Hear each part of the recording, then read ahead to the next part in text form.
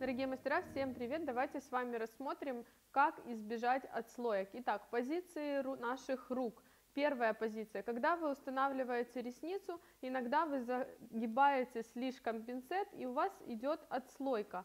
Вторая позиция неправильная, когда вы перегибаете наоборот в обратную сторону пинцет и кисть руки, от этого у вас также получается отслойка. Вам необходимо найти нейтральное положение, которое будет полностью соприкасаться искусственная ресница с натуральной у зоны века.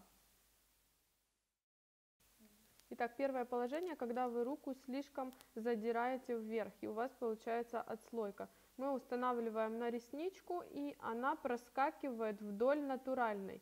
У вас сцепка только с пузиком ресницы, а кончик нашей ресницы телепается сам по себе отдельно. От этого получается у нас отслойка.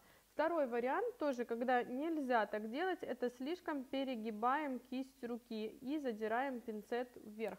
Положение получается, ваш хвостик ресницы у зоны века отпирается вверх, а необходимо, чтобы они примыкали друг к другу полностью плотненько.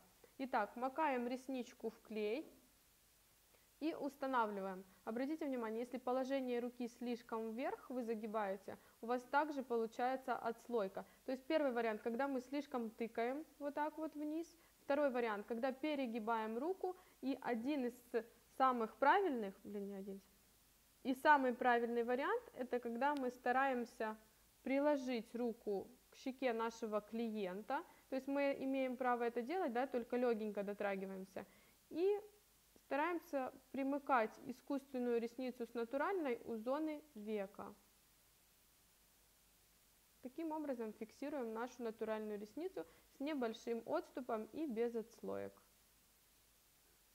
Запомните, что когда вы работаете с ресничками, вы всегда работаете, у вас подвижные эти три пальчика и подвижный пинцет. Кисть руки у вас почти всегда остается в одном и том же положении, кроме проработки внутреннего угла. Итак, когда вы устанавливаете искусственную ресницу на натуральную, вы должны немного зафиксировать кисть в одном положении и примыкая ресничку искусственную к натуральной, удержать несколько секунд, затем отпустить. Сейчас ресница без клея, поэтому она не фиксируется. Давайте мы макнем не перегибая пинцет. Ресница искусственная также в пинцетике находится в ровном положении. Кисть зафиксировали и установили нашу искусственную ресницу. Дорогие мастера, давайте сейчас с вами поговорим о проработке внутреннего угла. Иногда мы фиксируем патчем, подтягиваем наши ресницы, но у вас также могут задействованы быть ваши пальчики. Когда мы прорабатываем внутренний угол, безымянным пальчиком подтягиваем ресницы вверх и устанавливаем нашу искусственную ресницу.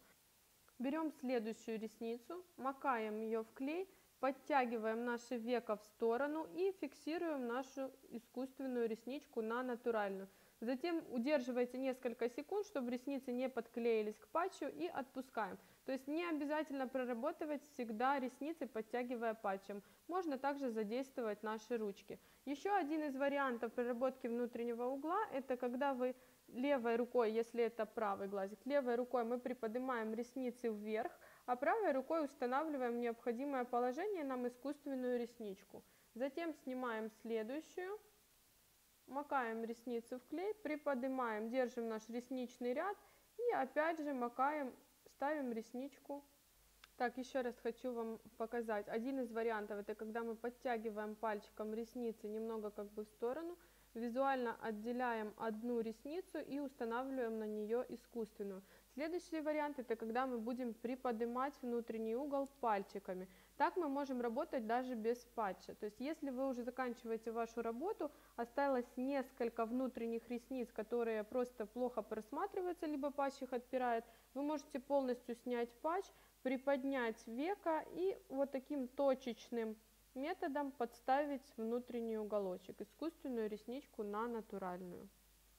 Надеюсь, это видео вам было полезно. Всем пока-пока, до скорой встречи в новых видео.